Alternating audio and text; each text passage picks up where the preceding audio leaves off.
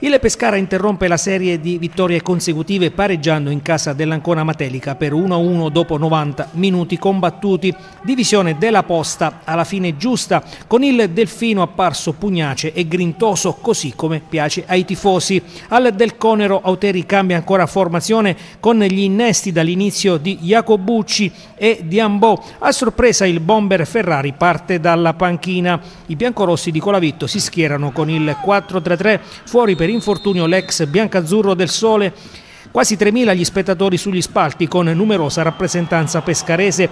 Avvio veloce delle due squadre con al decimo con la punizione di Sereni e palla in area per Del Carro che al volo mette clamorosamente al lato.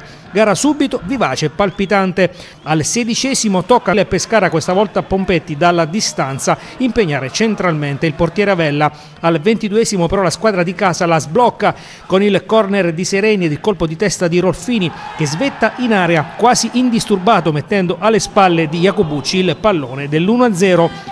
Doccia gelata per il Delfino che cerca però subito di reagire, ma al 26esimo Dursi in area marchigiana incorna al lato.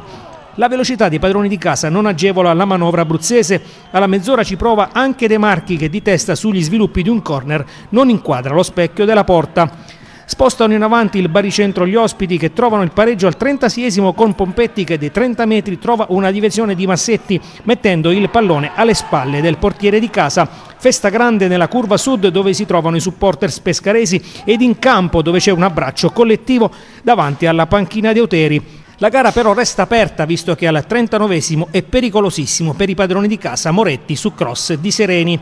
Nella ripresa si parte come nel primo tempo a buon ritmo con all'undicesimo l'ingresso in campo di Ferrari per De Marchi nel Delfino che sfiora il gol al quattordicesimo con Veroli e con Oteri che poi manda poco dopo in campo Clemenza e Memushai per Dursi e Rasi. Il Pescara passa al 4-3-3 con la gara che vede però meno emozioni rispetto alla prima frazione di gioco anche se al ventesimo è Jacobucci a salvare in area su Rolfini.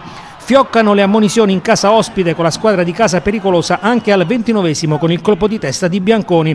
Al 36 poi i biancazzurri restano in 10 per il doppio giallo di Llanes. Auteri corre così ai ripari mandando in campo Frascatore per Rauti. La squadra ospite è costretta a stringere i denti nei minuti finali con i padroni di casa a spingere come prevedibile con maggiore decisione con al 37 il salvataggio di Jacobucci sul neoentrato Fagioli. Il Pescara però ci crede nonostante tutto e al 45 con Meushai arriva ad un passo dal vantaggio con il pallone calciato dall'albanese che finisce di un soffio al lato. Poi 5 minuti di recupero in cui non accade più nulla, finisce 1-1. Ora la sosta e poi il mercato, ma soprattutto possibili novità societarie con l'interessamento della cordata inglese guidata dal patrono del Leeds e di Eleven Sport Andrea Radrizzani.